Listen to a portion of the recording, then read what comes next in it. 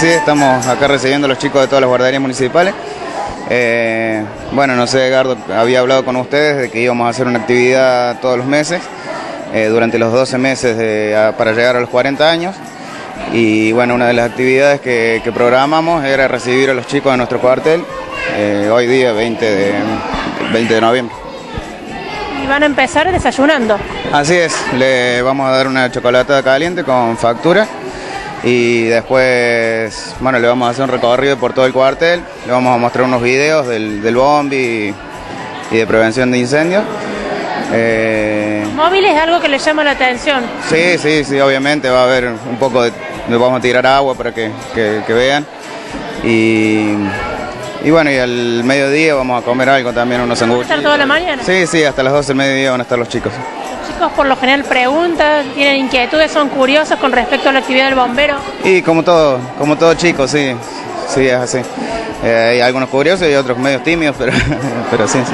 Qué bueno que desde chiquitos ya vayan sabiendo, eso también es bueno para concientizarlo. Y sí, para concientizarlo y que por ahí hay algunos padres medio complicados, por ahí les sirve también de, de prevención. Bueno, hoy estamos los cuatro centros de desarrollo infantil de la villa eh, un poco festejando el Día de los Derechos del Niño, porque nosotros tenemos un proyecto anual este año que habla sobre los derechos. Y como derecho a la seguridad, nos parecía formidable hacer un reconocimiento a los bomberos. Por eso, más que una visita hoy al cuartel, es también un reconocimiento. Por eso trajimos regalitos y trajimos una placa, por toda la labor que ellos desarrollan y por todo lo que han hecho este año, ¿no?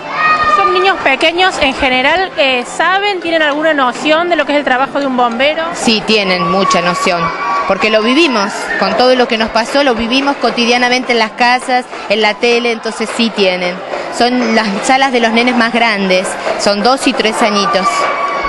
¿Y ellos trabajaron los días antes para saber qué iban a hacer acá? Sí, lo estuvimos conversando en el intercambio con todos los grupos y la señora fuimos preparando a los chicos para que supieran que era lo que íbamos a hacer hoy cuando viniéramos, pero estaban muy entusiasmados y recontentos. Qué bueno que puedan conocer a, un bombero, que puedan conocer eh, los vehículos, saber cómo trabajan, incluso van a hacer algunas demostraciones, contaron. Sí, sí, va a ser una, una visita guiada por todas las instalaciones, contando un poquito y tratando de que ellos hagan la experiencia directa de subirse al camión, de ponerse los sombreros, que es la forma en la que ellos aprenden. Hay muchos papás también acompañando. Sí, sí, en, en la mayoría de los papás han sido invitados a acompañar a los chicos, porque me parece que tiene que ser también un reconocimiento de la comunidad al trabajo que ellos hacen, no solamente una visita de los niños. ¿Cómo te llamas? Delfina. ¿Y viniste acá a visitar a los bomberos? Sí. ¿Cómo está el cuartel? Eh, lindo. ¿Qué vienen a ver? Hola, ¿me contás cómo te llamas? ¿Cómo te llamas? Cochi. ¿Y viniste a ver a los bomberos? Sí, él tiene miedo a los bomberos. Pero no le tiene que tener miedo. Cuando sí tengo miedo. Él se asusta. Cuando no ve juego, él no se asusta. ¿Sabes qué hacen los bomberos? Apagan el fuego del Trabajan para irse a apagar un juego. También. Entonces son buenos. Sí. No te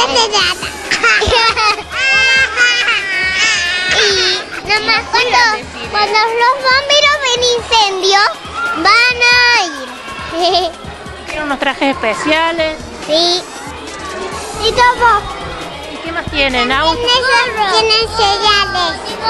¿Cómo es algo que tienen ellos? Sí, más grande. ¿Mangueras? ¿Qué más tienen? Mangueras. Y, y, y, y, y un camión. ¿Y todo?